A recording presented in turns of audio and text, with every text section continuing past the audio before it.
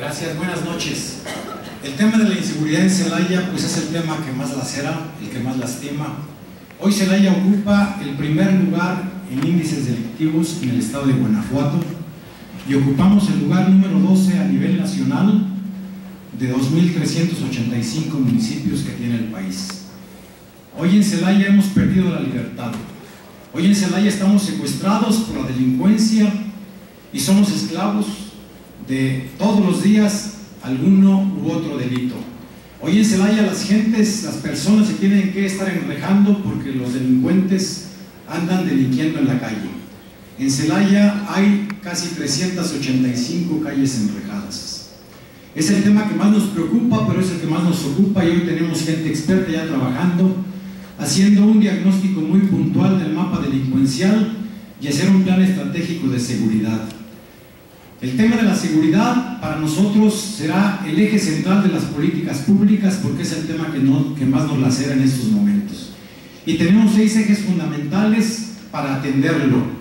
Primero, modernización organizacional. Segundo, inteligencia operacional, inteligencia ejecutiva, inteligencia eh, policial. El tercero es coordinación institucional. Esto es entre los tres niveles de gobierno, gobierno federal, estatal y municipal.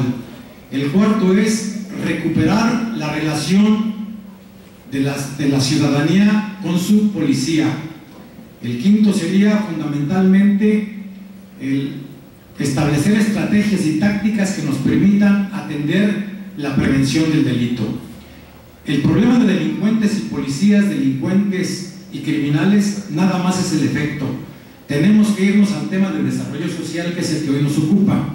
En el tema de desarrollo social, pensamos establecer el, Instituto Estratégico de Estudios para la Reconstrucción del Tejido Social, que hoy lo tenemos totalmente descompuesto. Hay una gran descomposición del tejido social.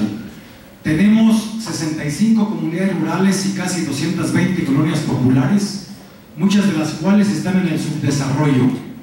Lamentablemente, en esas colonias y en esas comunidades no hay espacios deportivos, no hay espacios para la recreación, no hay recintos para la cultura, no hay equipamiento para la salud, no hay cobertura para la educación.